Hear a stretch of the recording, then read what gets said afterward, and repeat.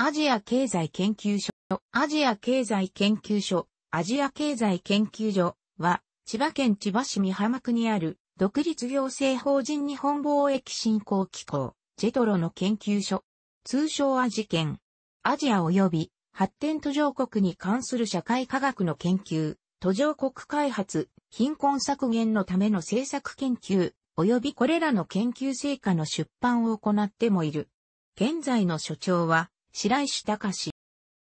約150名前後の研究者を要し、社会科学系の研究機関としては国内最大級とされる。主な研究分野はアジアやアフリカ、ラテンアメリカ、中東、CIS などの地域研究及び開発研究である。統計資料、データベースの整備も行われ、これを応用した研究や分析も行われている。日本語名称と英語名称が食い違うのは、当初、アジアのみを研究対象と想定していたが、後にこれを他の途上国にも拡大したためである。設置法の改正に手間がかかるため、日本語名称の変更は見送られたままになった。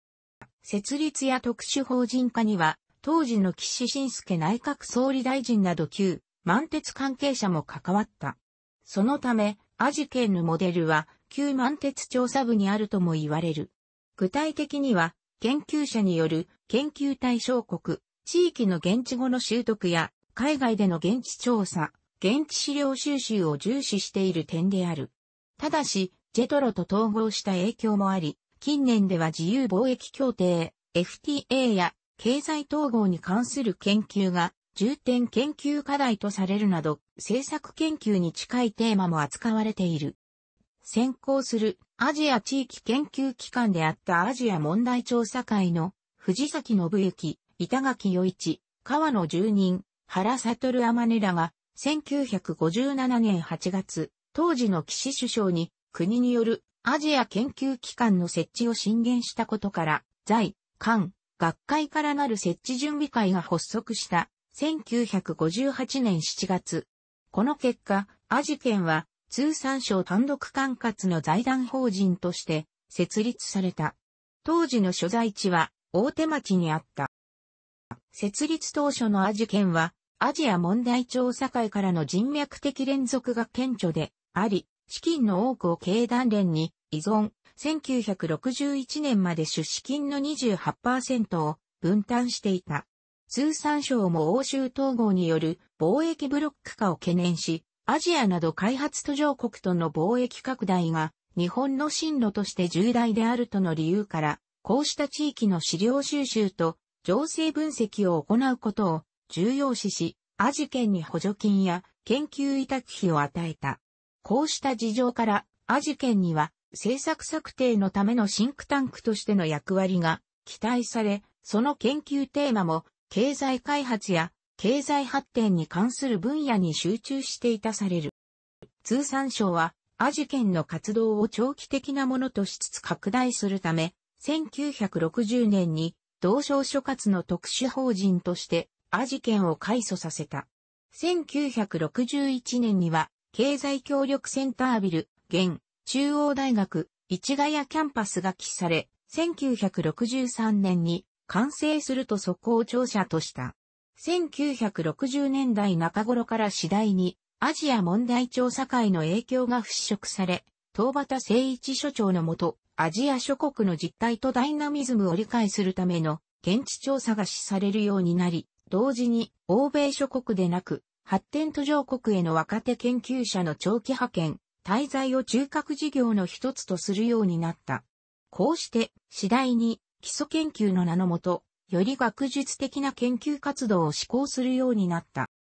当時は大学においてもアジアや開発途上国に関する研究や研究者の要請が十分には行われてこなかった。そのため、アジ県は日本の途上国研究における中核的な機関とされた。その後、大学においても途上国に関する講座が開設されるようになったが、その際に大学側にとってアジ研から担当教員を引き抜くことがしばしば行われた研究者と人材流出の項を参照。アフリカ研究など一般的にマイナーとされる地域についてはアジ県出身者が学会の3分の1を占めるとも言われる。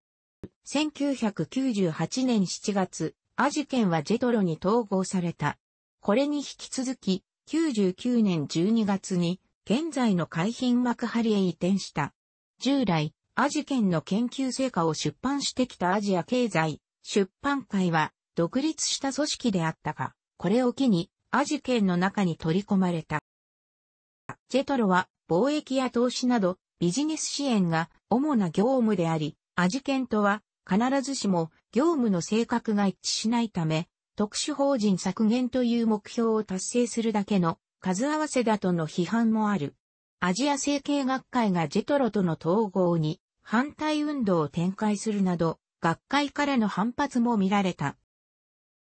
幕張移転についても、アジ県内部からの反対が多かったが、結果的にジェトロ本部と距離が離れ、統合の影響を最小限に食い止めたと側面もある。一方、アジ県図書館の利用者側には、都心回帰を求める声が多いため、ジェトロ東京本部、六本木一丁目ビジネスライブラリーにアジ県の司書職と一部出版物を配置したサテライトを設けた図書資料の資料は予約制であり、利便性の低下は否めない。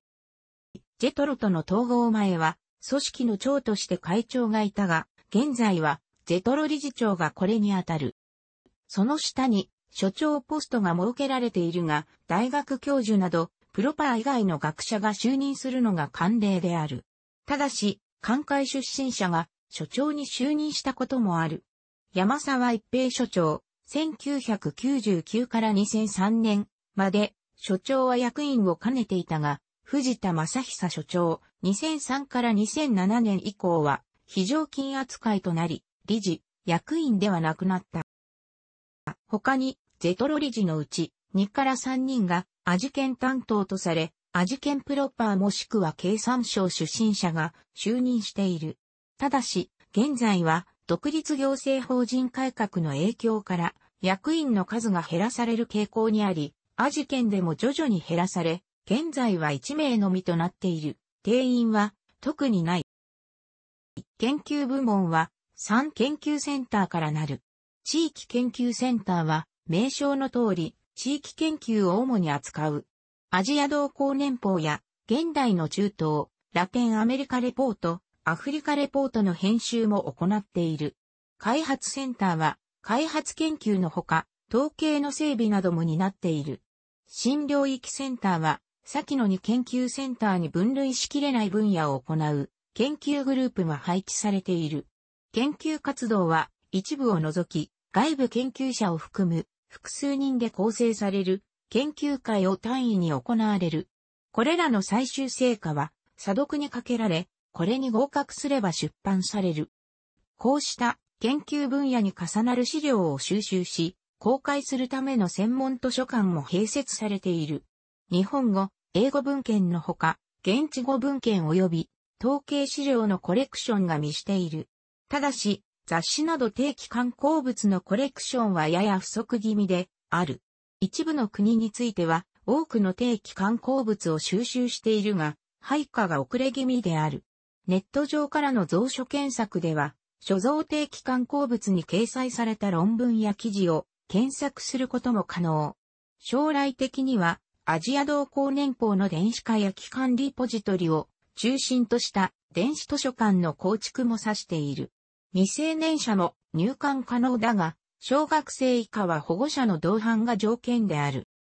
国際開発、援助関係の専門家を養成する1年生のアジア経済研究所開発スクール、アイデスも設立されている。学生は海外からの受け入れと一般募集した日本人から構成される。授業はすべて英語で行われ、日本人学生は家庭修了後、原則として海外の大学院へ進学することになっている。入学資格は大学卒業者、修了後大学院進学を前提とするため、以前は入学に年齢制限があったが、35歳未満、現在はなくなっている。学費は30万円前後、入学金なし、教材費込み。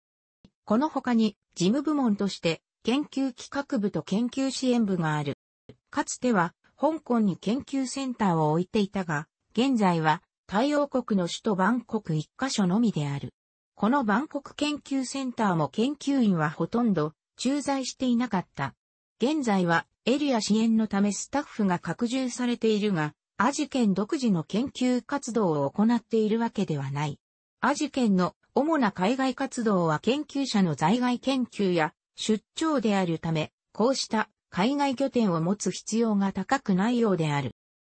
エリアとは、東アジア ASEAN 経済研究センターの略称。東アジア経済統合推進を目的として、地域の課題分析、政策の立案及び提言を行う新たな国際的な研究機関である。2007年11月の第3回東アジアサミット議長声明等を受け、2008年6月3日には東南アジア諸国連合事務局、ジャカルタにおいてエリア設立総会が開催され、正式に設立された。エリアは東アジア経済統合の推進、域内経済発展格差の是正、持続的な成長の実現を主要な政策分野として掲げ、各種政策研究プロジェクトを立ち上げて、その成果を東アジアサミット等の場を活用して、各国首脳、閣僚を含む政策当局者に提言し、政策の実現を促していく。途上国の政策研究能力向上を目的としたキャパシティビルディング事業や研究内容の普及と関係者の意見交換を目的に各国において随時シンポジウムセミナーを実施する。アジ県は正式設立前の2007年度からエリア設立に向けた仮事務局として研究事業、キャパビル事業、シンポジウム事業を先行的に実施した。研究事業については東アジア経済統合に向けたロードマップ及び東アジア地域のエネルギー安全保障に関するテストランプロジェクトを立ち上げ、東アジア経済大臣会合や東アジアエネルギー大臣会合等、そして東アジアサミットへの進捗報告、成果報告を行った。アジ県の中核事業は研究事業であるが、出版物の発行はその成果普及の手段として不可欠な事業である。原則として、アジ県内部の研究者による査読を通ることが研究成果出版の要件として課せられいる。外部投稿を公開公募しているアジア経済についても、アジ県の研究者及び、学会の研究者が査読を行い、学術水準について厳しいチェックを行っている。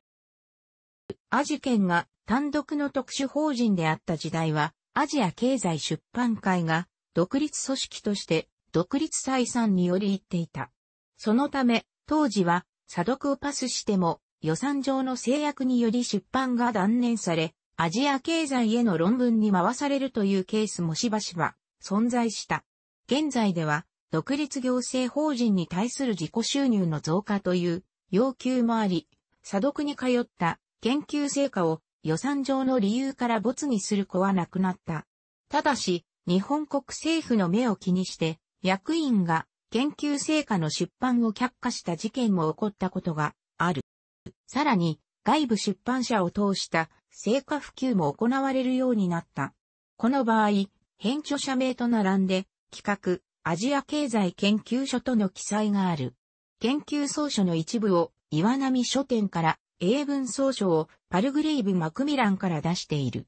このほか、日本評論者や明石書店から出ている出版物もある。上記の政治的理由により、没にされた成果も、最終的には、明石書店からの出版が許可されたが、当時は外部出版社からの出版が制度化されておらず、企画、アジア経済研究所の記載はない。当初、アジアや途上国を専門とする研究者が大学では不足していたため、研究員の相当部分が大学へと引き抜かれていった。現在でも一箇所に異なる分野、地域の専門家が集積している研究機関は少ない。やや落ち着いているものの、毎年数名の途中退職者が大学に転籍し続けている。その一方で、日本の大学や学会に途上国研究の人材を供給し続けてたという側面もある。こうした現象の原因としては、楽しくご覧になりましたら、購読と良いです。クリックしてください。